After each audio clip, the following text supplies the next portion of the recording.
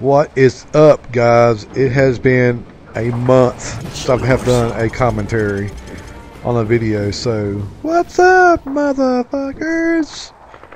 Okay, we are doing a free-for-all on one of my favorite maps in the COD 4 series, and it is Crash. Free-for-all on Crash. Um, I'll be using the, the ACR with the silencer. I'll be using the AA-12 shotgun. Run, run, run, run, run! The AA-12 shotgun with a grip. Um, be using Scavenger Pro, Stopping Power Pro, and I will be using Ninja Pro. Be using Claymores for my equipment. And see, my kill streak setup is going to be Harrier Strike, Pave Low, and the almighty Tactical Nuke.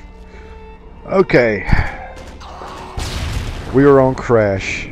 This is one of my favorite maps. Um, my favorite map in the COD 4 series or Modern Warfare series period would be would have to be Chinatown, I would say. Um, my strategy for this map is to find a building that you are comfortable in and take it over. Um, it is very difficult on this map because every building that you can enter there is two ways into that building. So it makes it a little bit tougher to secure a location when there's two ways in and two ways out so you really really got to keep moving and you really got to keep your ears wide ass open so uh, what I did was is I got the old Tritton headphones out and turned the volume up all the way so I can hear every little footstep. I know where people are and if people are in my building downstairs I will know. Unless they are using Ninja. Okay, so that's pretty much it. And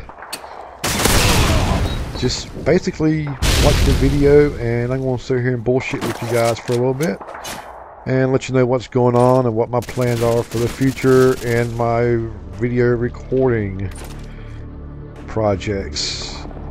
Um,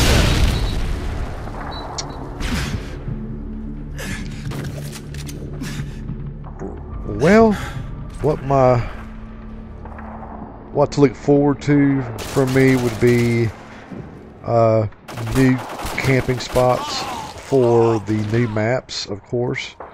So uh, keep an eye out for that. Um, it will be soon.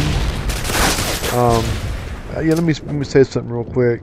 If you notice that my uh, my movements in this game are real sloppy, um, I'm overturning or I'm running into walls and whatnot. The reason is I have bumped my sensitivity up all the way to insane. So I haven't got used to it. I haven't. I'm not used to it 100%. So it's a little sloppy. I overturn a lot, or I've noticed when I'm throwing grenades or flashbangs, I'm not hitting what I'm throwing at because I'm, I'm turning too much. Um, and I am using my tactical setup. Those who don't know what tactical setup is, basically you take, you go into options to your button layout and switch it from default to tactical. And what that does basically is it switches your crouch button, which is your square button, and it switches it with the R3 buttons, which is your right uh, joystick. So whenever you push down on your right joystick, you lay down automatically. So works out really well. It will save your ass uh, if you watch. If you see me shooting and then all of a sudden I just lay down out of nowhere, that's a tactical setup. It saves your. It will save your ass, and it will help your game. So try it. it. Takes a while to get used to it, but it does help. Um, Let's see. What can we bullshit about? Hmm. I want you guys to send me some feedback on these new maps. Um, I really don't care for them all that much. I just think uh, they rushed trying to get the maps out. So, I mean, and they are very, very, very camper friendly. And what I mean by camper friendly, I don't mean by what I'm doing is camper friendly.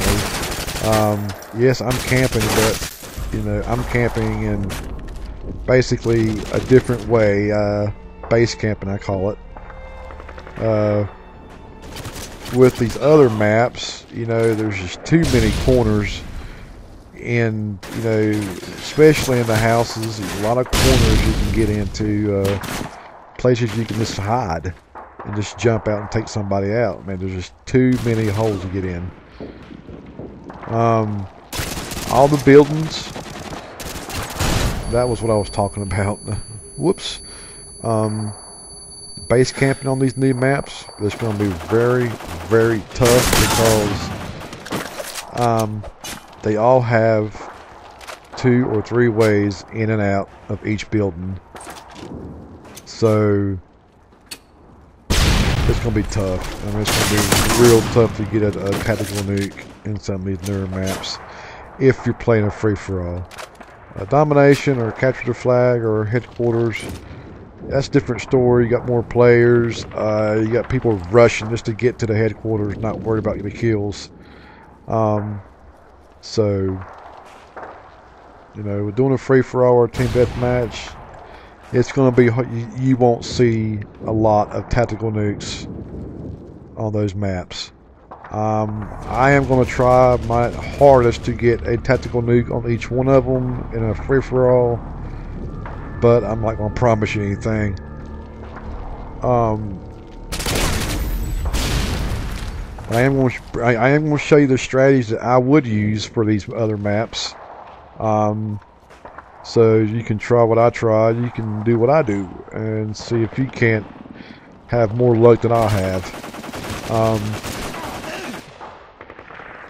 So, that's, that's pretty much it.